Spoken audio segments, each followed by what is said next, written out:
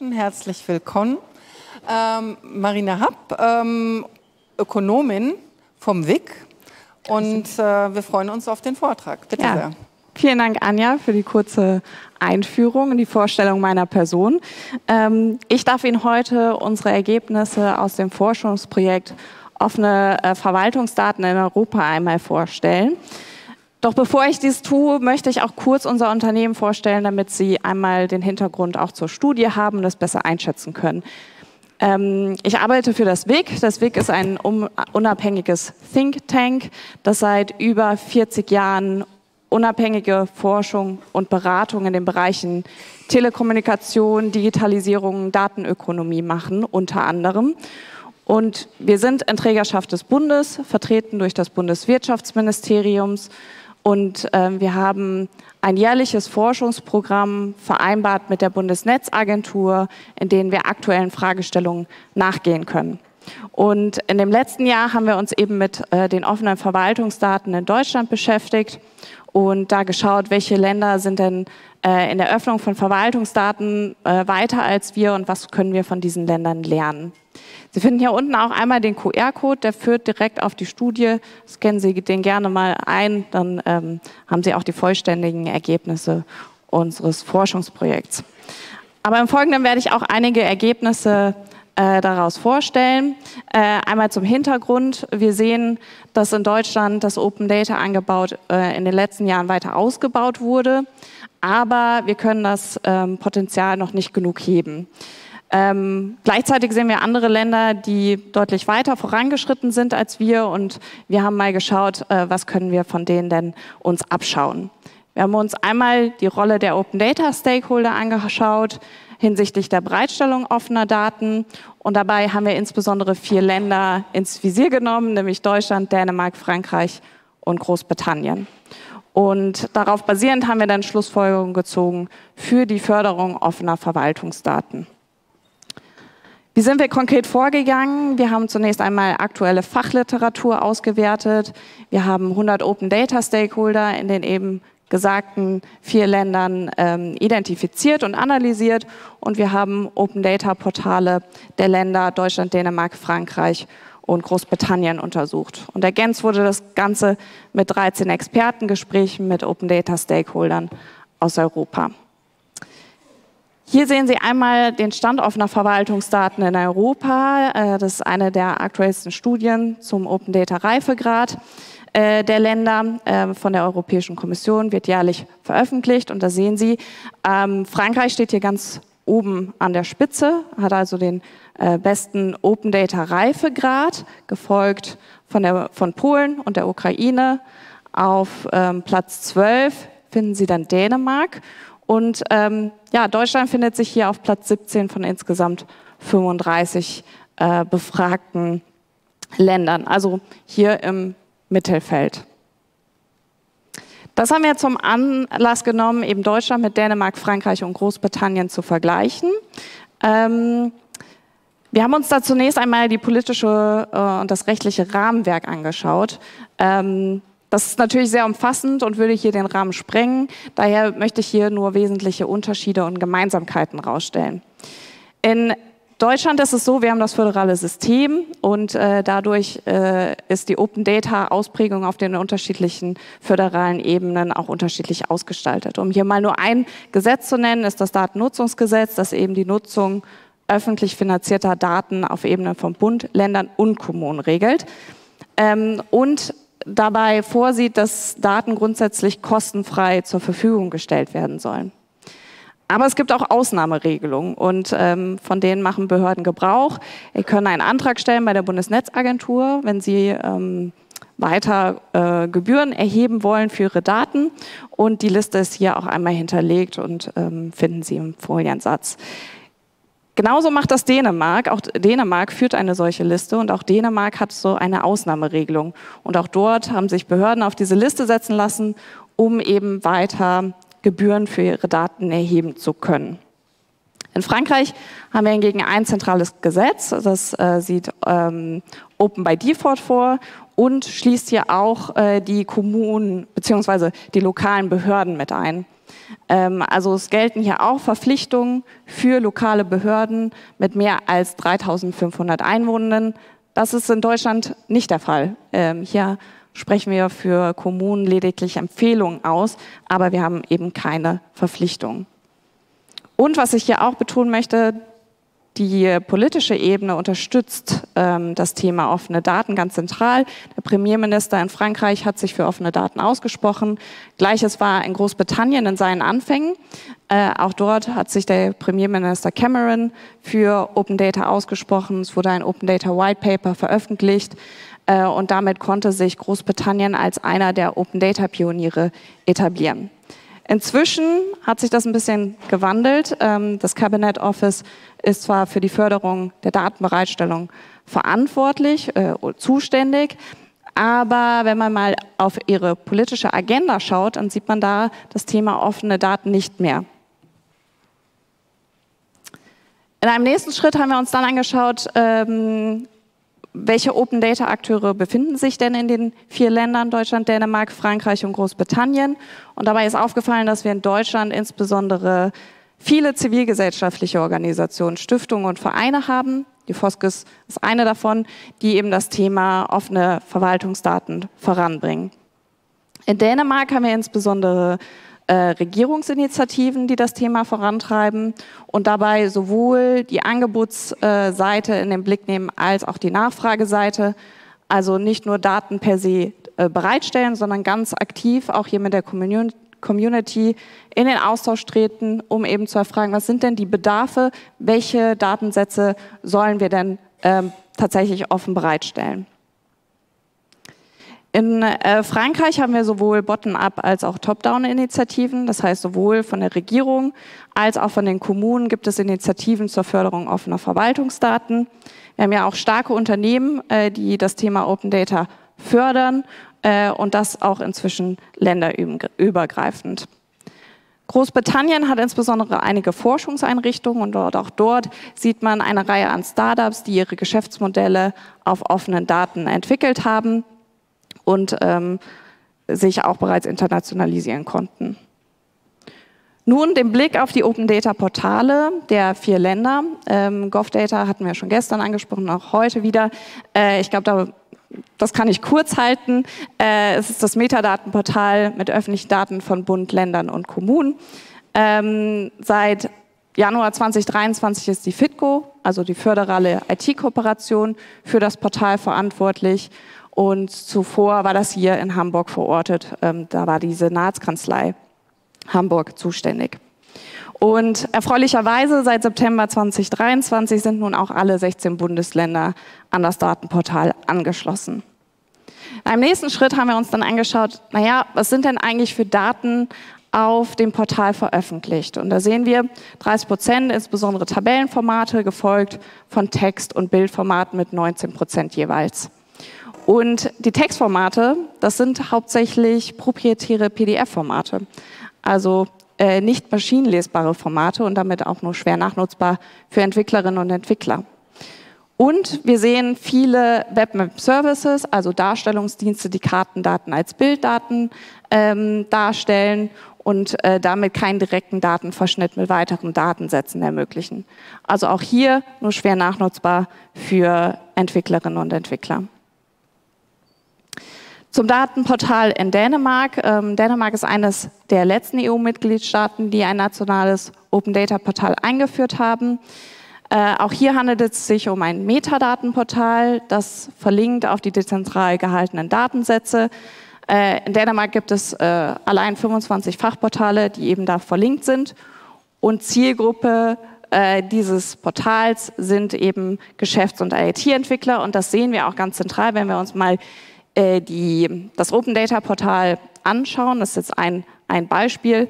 Äh, Sie sehen hier ganz zentral, äh, Herausgeber ist benannt. Äh, Sie finden eine ganz konkrete Kontaktadresse und Sie finden auch die Aktualisierungsfrequenz, die insbesondere für Entwicklerinnen und Entwickler auch von Relevanz ist.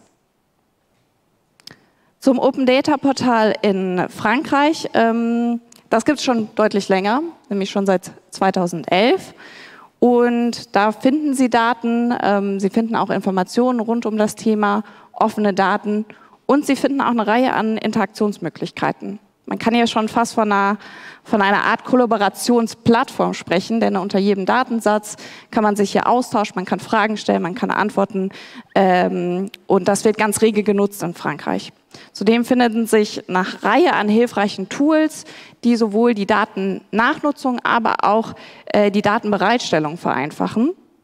Und darauf möchte ich auch aufmerksam machen, Etherlab, ähm, die eben für dieses Portal verantwortlich sind, die betreiben ganz zentrale Öffentlichkeitsarbeit für das Thema Open Data. Ähm, so veröffentlichen sie zum Beispiel jeden Monat äh, Artikel zu, zu interessanten Datensätzen auch interessanten Datennachnutzung, um eben auch Sichtbarkeit für das Thema zu schaffen und auch äh, die gute Arbeit der Behörden darzustellen und ähm, ja, Sichtbarkeit für ihre Arbeit im Bereich Open Data zu schaffen. Auch hier einmal die Übersicht äh, der Daten, die auf diesem Portal veröffentlicht sind, nach Datenarten. Äh, Sie sehen hier, Frankreich veröffentlicht viele Tabellenformate, Geoformate und Textformate, aber nur wenig Bildformate. Und auch wenn wir uns die Textformate mal genauer anschauen, dann bestehen die ähm, hauptsächlich aus maschinenlesbaren JSON-Dateien, also maschinenlesbar. Ja, zum äh, Datenportal in Großbritannien. Großbritannien hatte als eines der ersten EU-Mitgliedstaaten, also vor Brexit, ein nationales Datenportal eingeführt, nämlich schon in 2010. Und dort können Regierungen, lokale Behörden, ähm, aber auch kommunale äh, Unternehmen ihre Daten bereitstellen.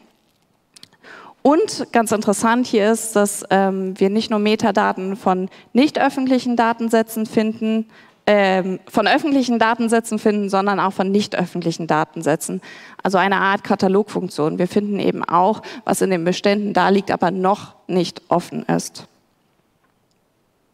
Auch hier einmal die Übersicht nach Datenarten der Datensätze, die auf, äh, auf DataGov UK veröffentlicht sind. Ähm, hier mit 52 Prozent ist die Mehrheit der Daten in Tabellen und Geoformaten. Wir haben auch hier nur wenig Bildformate und auch hier nur wenig Textformate. Wobei man hier auch sagen muss, mit 49 Prozent sind davon viele in proprietären PDF-Formaten. Schauen wir uns jetzt einmal äh, das Ganze nochmal im Länder äh, Vergleich an, dann sehen wir, Deutschland hat schon viele Daten veröffentlicht.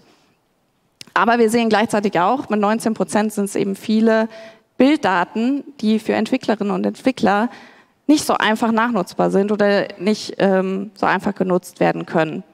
Für Bürgerinnen und Bürger ist das natürlich immer ganz schön, ähm, Bilder, plastische Bilder zu haben, aber für Entwicklerinnen und Entwickler eben nicht so zielführend. Zudem sehen wir, dass ähm, äh, auf GovData 23 Anwendungen veröffentlicht sind, die auf offenen Daten basieren. Da sind andere Länder weiter als wir. Hier einmal Frankreich ähm, mit 3600 Anwendungen, die dort veröffentlicht wurden und damit eben auch nochmal Sichtbarkeit für das Thema offene Daten schaffen und vor allem auch das Potenzial offener Daten zeigen. Nun einmal zu den Erfolgsfaktoren, die wir aus unserer Analyse abgeleitet haben. Wir sehen, dass erfolgreiche Länder offene Verwaltungsdaten zunächst einmal hoch in der politischen Agenda verankert haben.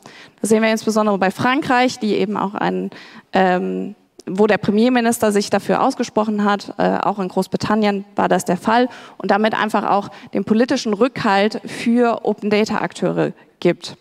Zudem sehen wir, es ist äh, ganz zentral, dass äh, die Daten in einer hohen Metadatenqualität und Datenqualität vorliegen, damit die Daten tatsächlich auch genutzt werden können. Zudem ist es ganz zentral, ähm, dass auch äh, die Nachfrageseite in den Blick genommen wird und ähm, dass man eben ähm, erfragt, was sind denn die Bedarfe von Nutzerinnen und Nutzer und dann zielgeführt diese Daten auch veröffentlicht. Zudem sehen wir in erfolgreichen Ländern auch, dass die Zivilgesellschaft ganz äh, eng eingebunden wird, sowohl in die Datensammlung, in die Datenaufbereitung, aber auch in die Datennachnutzung. Wir sehen das beispielsweise in Frankreich. Ähm, dort äh, hat äh, Dort hat zum Beispiel ähm, der, ein Projekt stattgefunden, äh, wo eine Crowdsourcing-Plattform entwickelt wurde auf Basis ähm, eines Entwicklers im Rahmen eines Hackathons. Und ähm, im Laufe wurde dann diese Crowdsourcing-Plattform veröffentlicht und Bürgerinnen und Bürger konnten eben über diese Crowdsourcing-Plattform Dachflächen klassifizieren.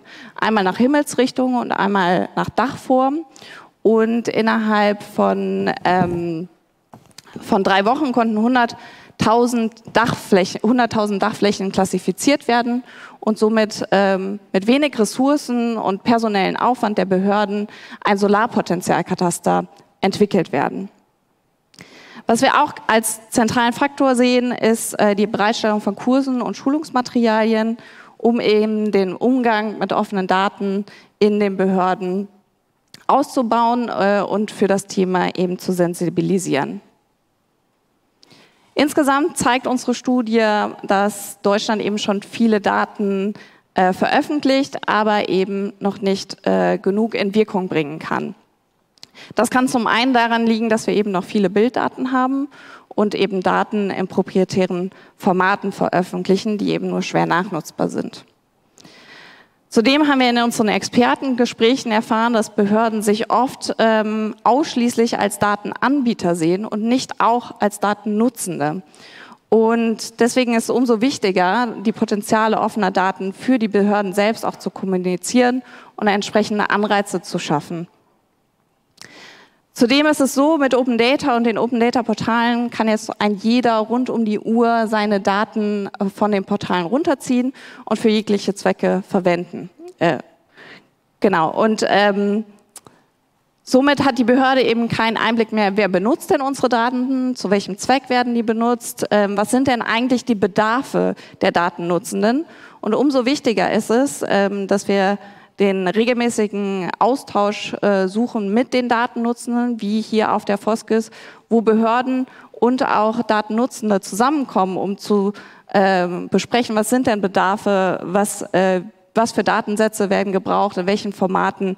Äh, da ist der Austausch ganz zentral und eben auch mit Wirtschaftsverbänden sich auszutauschen, denn die haben nochmal einen Blick auf die breitere Datennachfrage.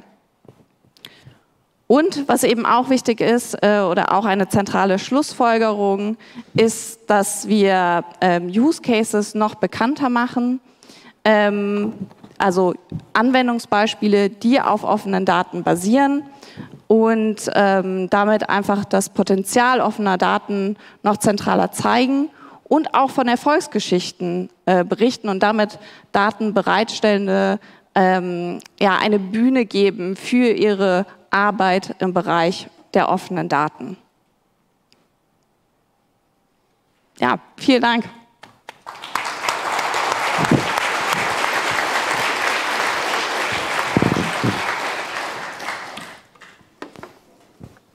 Ja, herzlichen Dank für diesen Vortrag. Auch hier Sehr sind gerne. wieder viele Fragen eingegangen. Also da scheint auch ein Nerv getroffen zu sein. Ähm, es gibt unterschiedliche äh, Blöcke von Fragen, deshalb fange ich mal mit dem ersten Block an. Da geht es so ein bisschen um die Auswahl ähm, der Länder für die Studie. Da sind mhm. ja hauptsächlich westeuropäische Länder, die Schweiz ist nicht dabei, Amerika ist nicht dabei, einige sind nicht dabei. Ja. Wie kam es zu der Auswahl? Also wir haben Frankreich, äh, hatte ich ja eingeführt, war ganz oben an der Spitze. Deswegen Frankreich ähm, hier äh, im Vergleich. Äh, Dänemark war auch vor oder ist vor uns. Ähm, die haben wir gewählt, äh, weil sie einfach weiter sind als wir.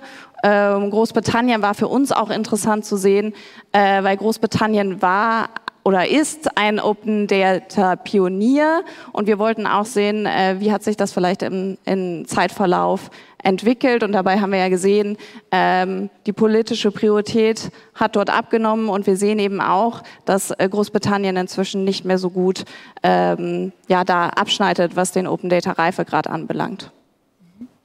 Und äh, warum habt ihr nicht weiter darüber hinausgeblickt und zum Beispiel Daten aus der Schweiz noch dazu gefügt? Ähm, also wir haben trotzdem äh, andere Länder in den Blick genommen, so ist es nicht. Wir haben äh, weitere Expertengespräche geführt mit anderen Ländern. Da war auch die Schweiz dabei und die sind auch in die Schlussfolgerung äh, eingeflossen.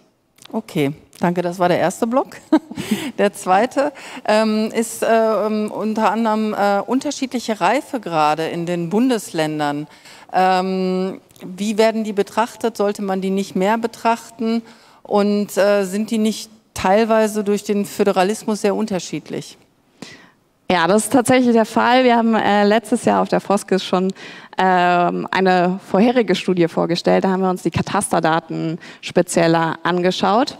Und äh, da fällt auf, das ist von Bundesland zu Bundesland doch recht unterschiedlich. Und natürlich haben die Bundesländer auch eine ja, unterschiedliche Auffassung, was ist denn Open Data? Also zählt ein PDF-Format dazu, äh, das bereitgestellt wurde. Manche Länder zählen das natürlich als Datensätze mit, andere wiederum nicht. Und eine klare Definition, was bedeutet offene Daten, das haben wir so noch nicht. Okay. Ähm, welche Aufgaben soll äh, das WIC bei der Förderung offener Verwaltungsdaten übernehmen? Also wir sind ein Forschungsinstitut, wir machen Forschung in dem äh, Bereich, äh, unter anderem, wir machen noch vieles mehr. Ähm, und das war jetzt mal so eine erste Studie, um so einen Einblick zu bekommen. Ähm, aber wir nehmen da auch gerne Vorschläge auf, äh, was wir vielleicht in, in den kommenden Jahren, ähm, was sich lohnt noch zu untersuchen, da gerne sich einmal melden, was da vielleicht auch noch interessant wäre, auch für die Community hier vor Ort. Okay, High-Value-Datasets, inwieweit findet das schon Berücksichtigung? Findet die High-Value-Datasets-Verordnung schon eine Berücksichtigung bei euch? Habt ihr das im Blick? Ja, ähm, also die Länder bereiten sich ja gerade darauf vor und auch bei GovData sieht man da Entwicklungen, äh, dass man sich äh, darauf vorbereitet, die High-Value-Datasets entsprechend auszuzeichnen. Ähm, das haben wir aber konkret in der Studie jetzt nicht ähm, nochmal separat betrachtet. Aber wir sehen schon, auch in Deutschland, dass sich die Länder äh, darauf vorbereiten und auch GovData ähm, auch so ein FAQ mittlerweile veröffentlicht hat. Äh, was sind denn ähm, hochwertige Datensätze? Ähm, welche, was muss die Kommunen, was müssen die Kommunen tatsächlich dafür tun? Äh, und das findet sich inzwischen auch auf GovData. Okay, vielen Dank. Ich schaue mal hier in den Saal. Gibt es aus dem äh, Saal, im Saal noch Fragen? Ja, da gibt es mindestens eine.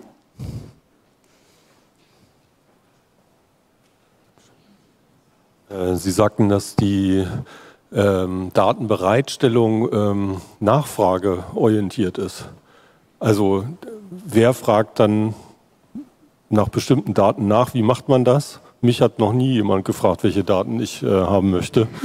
Äh, und ich hätte da schon ein paar Wünsche, aber äh, letztendlich äh, ist mir das Verfahren nicht klar, wie diese ja. Nachfrage entsteht. Ja, das ist schade. Äh, also äh, in anderen Ländern ist es nämlich tatsächlich so, dass wir auf den Datenportalen zum Beispiel eine Schaltfläche finden und da kann man fragen, könnt ihr nicht mal den und den Datensatz veröffentlichen? und da ist so ein Formular hinterlegt. Ich bin mir gerade nicht mehr sicher, ob es das auch für, auf GovData gibt. Ich meine nicht, aber schauen Sie da gerne nochmal nach.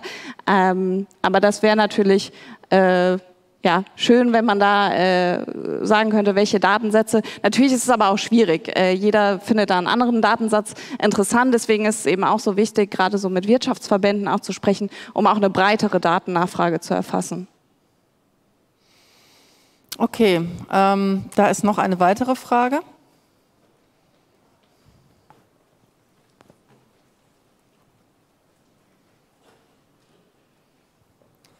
Ähm, ist mehr ein Hinweis. Im Geoportal ähm, von der GDI.de gibt es einen Bedarfsmelder, ähm, wo man ähm, das melden kann. Also man kann da suchen nach, nach Geodaten und wenn man findet, dass ähm, da weitere Datensätze eigentlich reingehören, kann man da ähm, ein Formular ausfüllen und dann müssen die sich darum kümmern.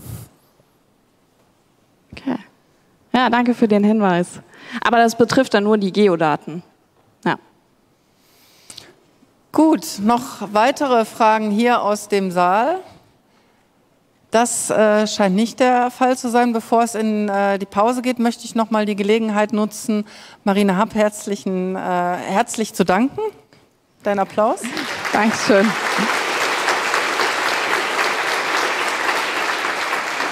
Mhm.